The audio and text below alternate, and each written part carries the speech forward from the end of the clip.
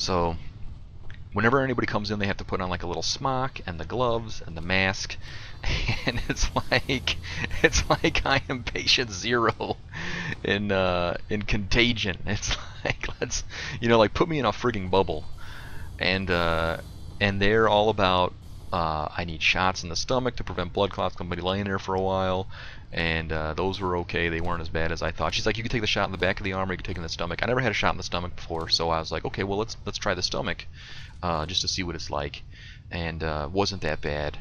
Um, only once, and I'm gonna blame it on the nurse. That was it really uncomfortable.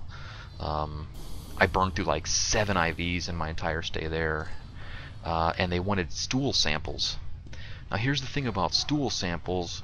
When you have violently explosive raging diarrhea uh, it's a mess okay? I, I have not had any experience prior uh, giving stool samples uh, other than to prostitutes and was more than a sample. Hey whatever. Uh, terrible joke I don't care. So um, I mean obviously we've you know we've all been on the internet. We see what uh, what people are up to, you know, in Japan and Germany, you know. Uh, but they give you this bowl, and it's basically it's like a big cereal bowl with like a like a it's like a hat. You could wear it as a hat on your head if you wanted to. You know, it's like a brim. It's like Indiana Jones, like a fedora, and you put it in the toilet, and you know it sort of like rests on the the bowl just right, and uh, you just kind of just duke in it, and and so like I was kind of confused like do you poop and pee in it? Like, if my pee gets in there, will the pee somehow mess up the readings? You know, like I, I, you know, I put too much thought into it.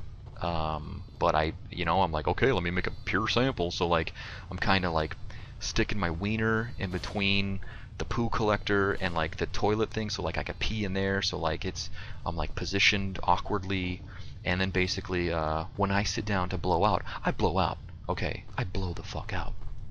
Um, and yeah, it, it, it goes into little the little hat, but it also goes uh, other places too. You know, it's a little thing called backsplash. And uh, the two nurses come in, boy, and I'm like, uh, you know, like I'm, I'm like, I'm sorry, and they're like, why? And I'm like, uh, it's everywhere, you know. And uh, and the one is one's cool about it. She's like, hey, you know, I've seen worse. She hadn't seen it yet. And the other one sort of looks at me like, really?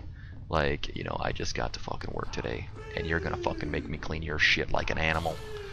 And uh, I'm like, I mean, you know, just by her look, I'm defensive. I'm like, look, I've never done this before. I don't go around pooping in, in hats and stuff, you know? Like, I don't do that. I'm a gentleman. And, uh... Look at these freaking idiots. Everybody's sitting here waiting to lose. So...